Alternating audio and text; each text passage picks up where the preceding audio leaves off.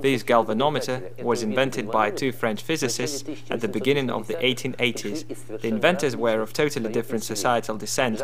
Jacques d'Arsonval was a director of biophysics labs, a professor of experimental medicine, and also one of the founders of physiotherapy.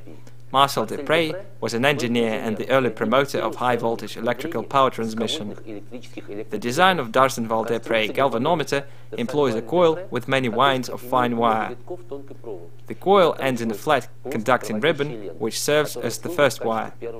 A coil spring ensures connection to the bottom part of the coil and also returns the coil to its initial position after deflection.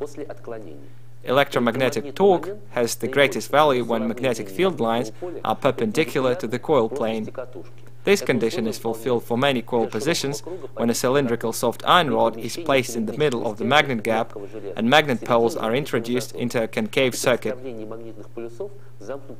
A proportional coil current is formed from the electromagnetic torque and rotation angle of the mirror is proportional to the strength of this current. This means that D'Arsonval-Deprez galvanometer can always be linear, which is very helpful for a user.